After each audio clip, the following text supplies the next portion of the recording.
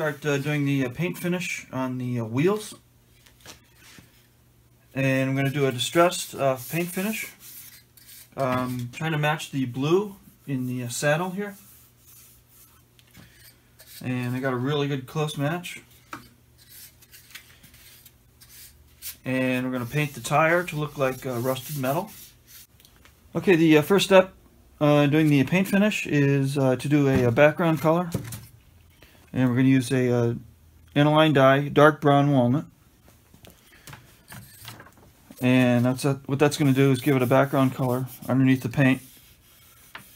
So when we do our distress paint finish, we see a dark color showing through. And we're just going to brush this on.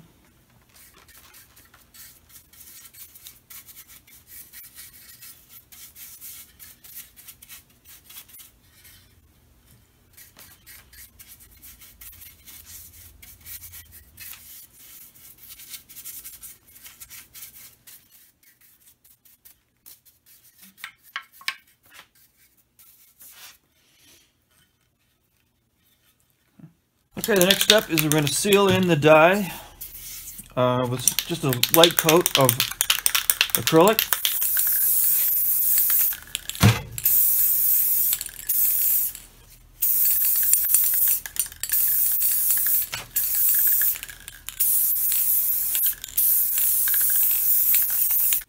Okay, now we're going to put our blue paint on, and the technique here is we're going to just be uh, dabbing blue paint around uh, we want it to look,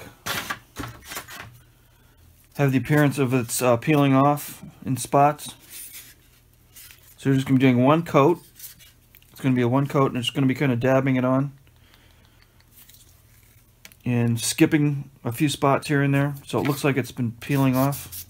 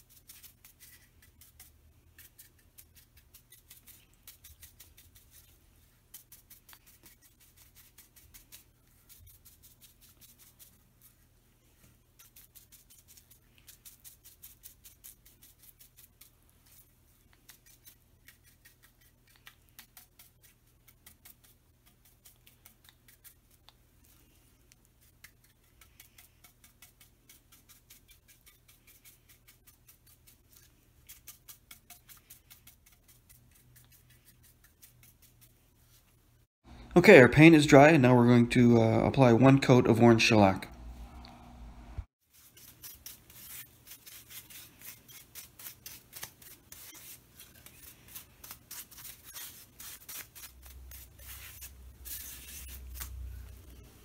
Okay, after that first coat of shellac, we've sealed in the paint. Now we're going to do some distress marks. Just going to take some black paint and just do some random little marks. Even some little scratches.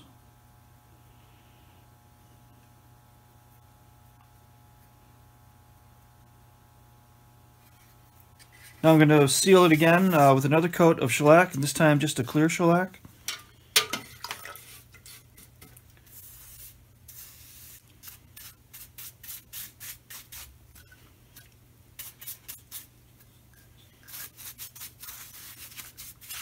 And now the final step is uh, one good coat of the uh, satin acrylic.